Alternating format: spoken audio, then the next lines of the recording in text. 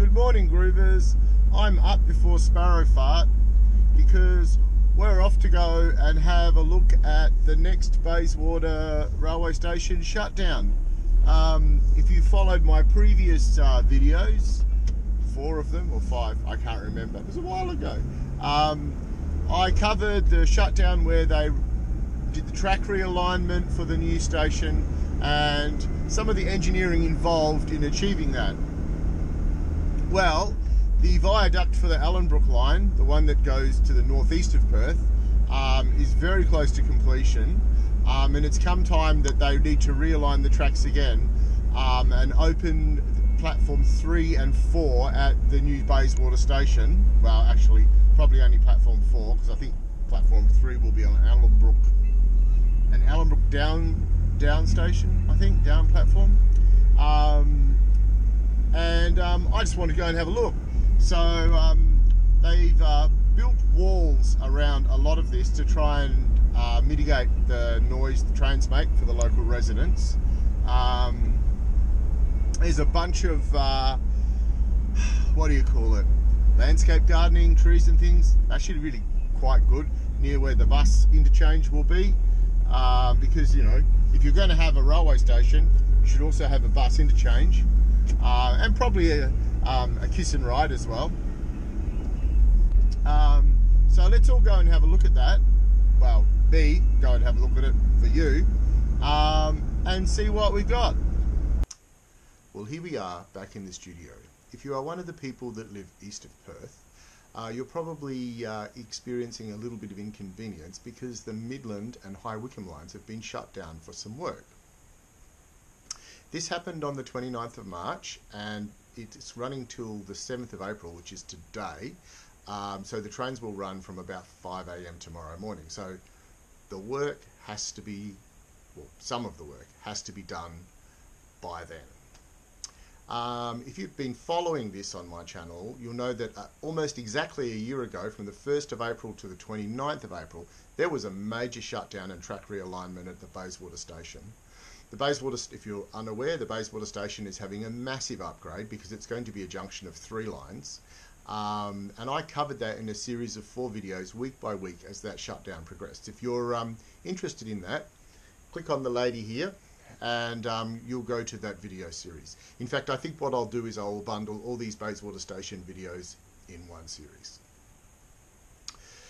So um, basically what needs to happen is the outside track uh, the northern to the northern island platform is the downline to Midland. That needs to be open by 5 a.m. tomorrow morning.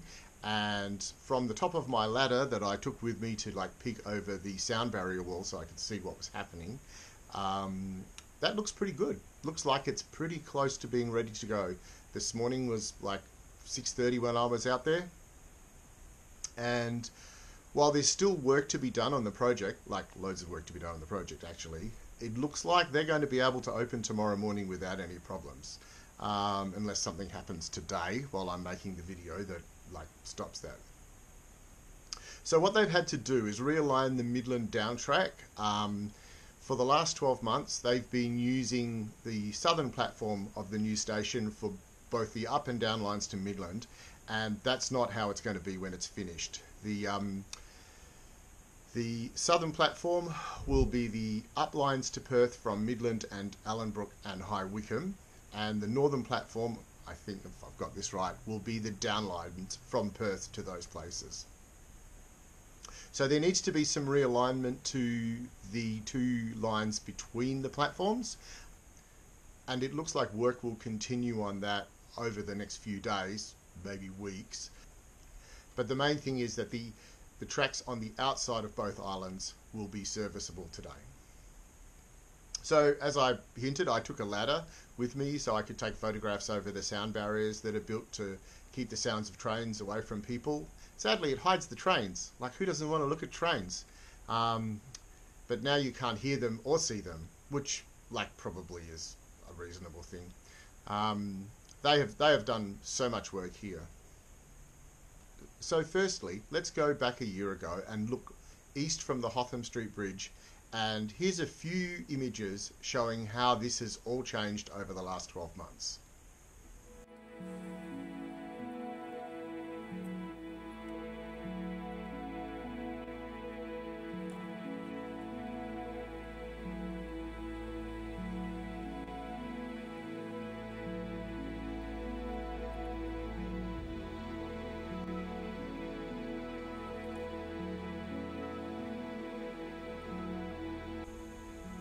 Here are some other images from around the job.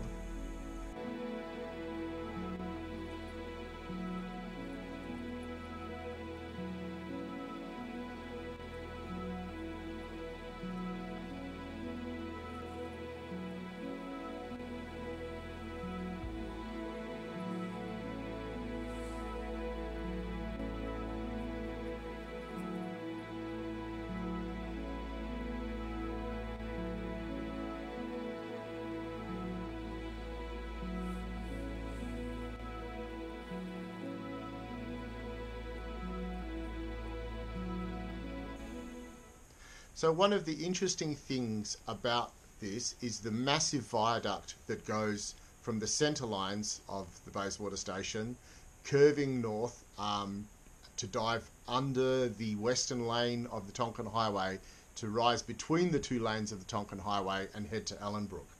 Um, this is really cool. They've constructed this by uh, putting some piers in the ground, putting either capitals or beams on top of them, and then putting preformed beams on top of that, dropping panels between the beams, and then filling in between that with reinforced concrete uh, via a pump truck. I have seen pump trucks operating all over this job, but two days ago when I was down there, I saw the Miels's Putzmeister 70, which is the biggest pump truck outside China as far as I can tell. I did some Googling. Um, it has a 70 meter reach. Um, which is quite incredible when you think about it. If you put it in the middle of a football stadium, as in like round football, football, uh, it could probably just about reach the edges of the grandstands if it wasn't too big a stadium, which is quite crazy to think about. Um, so here's some here's some footage I took just to give you some idea of that. And here you can see them using the, the pump truck. Basically, the guy on the left, he's uh, got a radio controlled unit um, which is controlling the, the boom on the pump truck, and the guy holding the tube is directing the concrete. The other three guys there have long vibrators on flexible lines. Don't giggle. Um, and that gets all the bubbles out of the concrete. The last thing you want is voids in your concrete, so it has to be vibrated, and the noise you can sort of hear in the background is actually the vibration. So, from looking over the top of the barrier, this is how I think the track layout will be. Um, basically, there's like an interchange running between all the lines uh, where they can lay up uh, EMUs uh, or reverse direction. So if they needed to do another shutdown, they could run trains as far as Bayswater and back into town, and the replacement buses would only have to go east of Bayswater. Um, and they could also park track maintenance machinery here. It's about halfway between Midland and Perth, so that's sort of like a useful space to have some storage layup sidings.